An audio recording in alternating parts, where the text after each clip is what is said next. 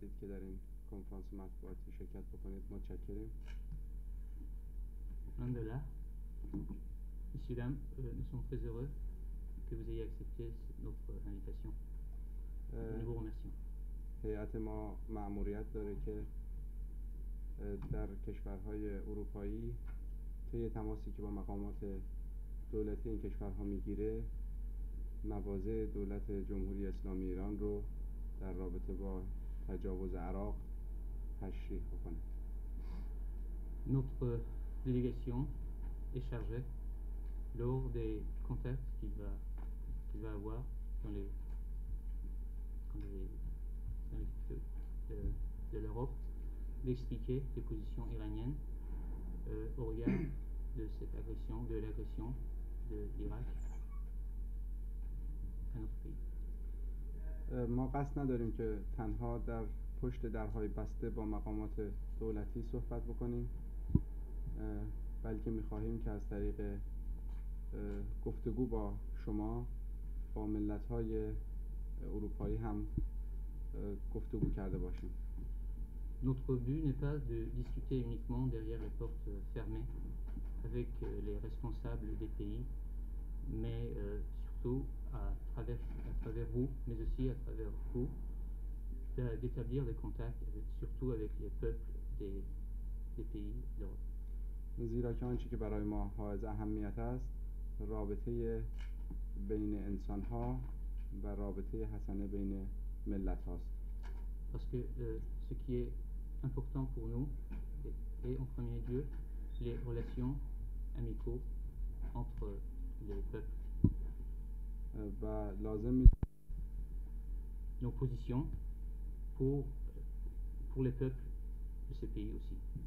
و امیدواریم که شما با گزارش صحیح آنچه که در اینجا گفتگو میشه در این راه کمک کنید Et nous espérons que vous, de votre part, en rapportant euh, avec euh, le, le- le plus de, en rapportant au mieux ce کسی سی سی سی سی از دست میده.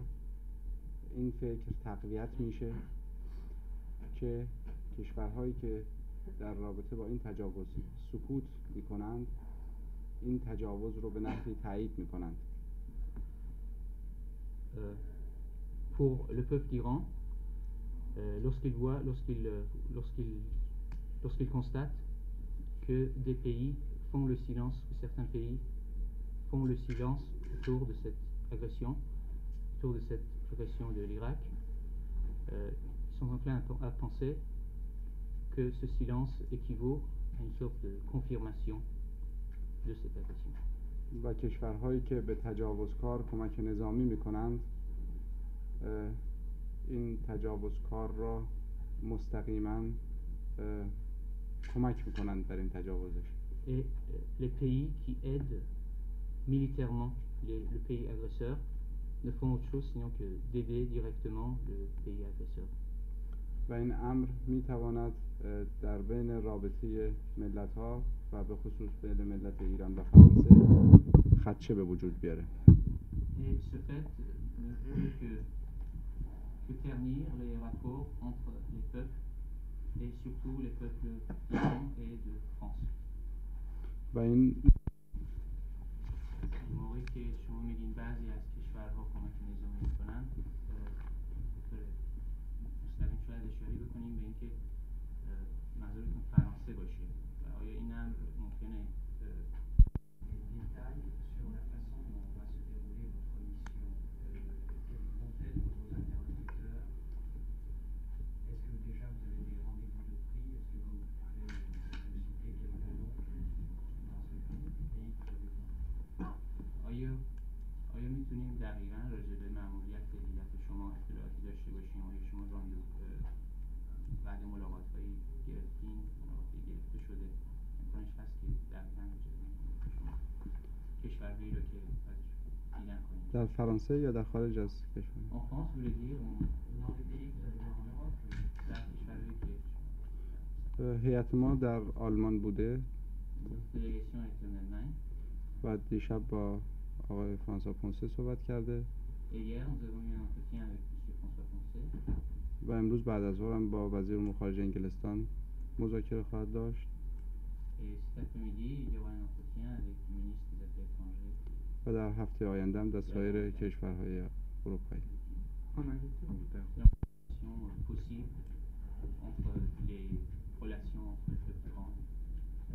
possible. و عراق در جستجوی یک بهانه بود که به صورت وسیع به ایران حمله بکنه Et l'Irak était cherchait un prétexte de façon à pouvoir euh, mener une agression étendue à, à- à l'Iran, envers l'Iran. و ال- هدف این تهاجم و حمله هم مشخص هست و مشخص بود Et le but de cette agression est clair et indéterminé.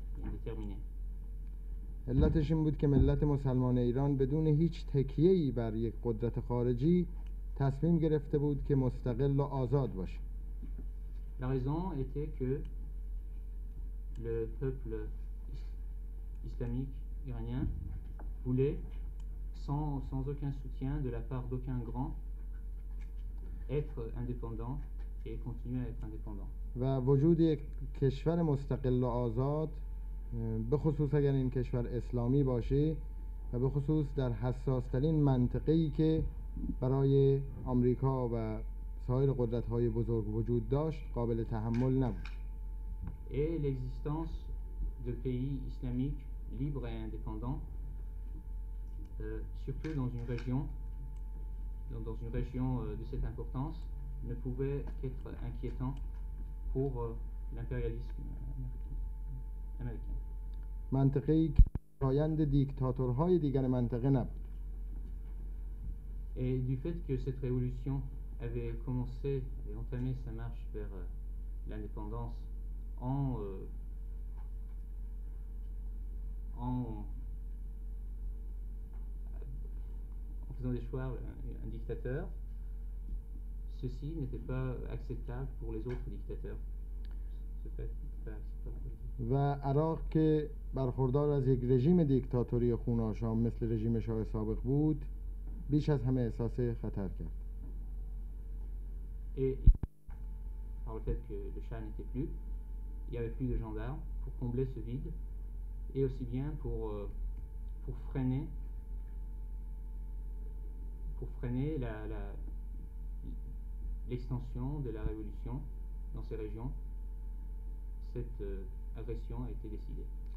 علالقاعده شما به عنوان خبرنگار و خبرگزار باید بیش از همه مطلع باشید از توطئه ها و دسیسه هایی که در مدت دو سال بعد از پیروزی انقلاب در ایران علیه انقلاب ایران صورت گرفته است Vous, euh, en tant que professionnel, euh, vous serez, vous être euh, plus au courant des complots qui ont été fomentés depuis, plus de, depuis deux ans, depuis, depuis la Révolution, contre euh, la République islamique.